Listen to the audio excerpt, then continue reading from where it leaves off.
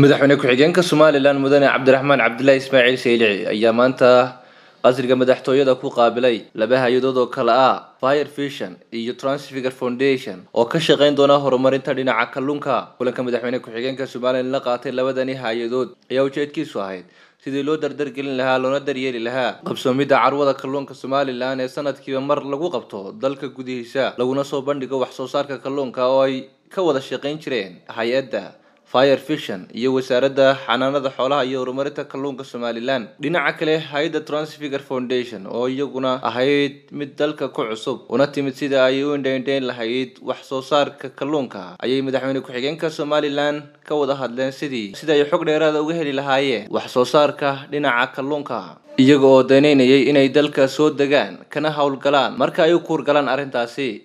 Ugu dambeyntii madaxweyne ku-xigeenka somalilan ayaa labadani hay'adood ku dhiirigeliyey inay xoogga saaraan.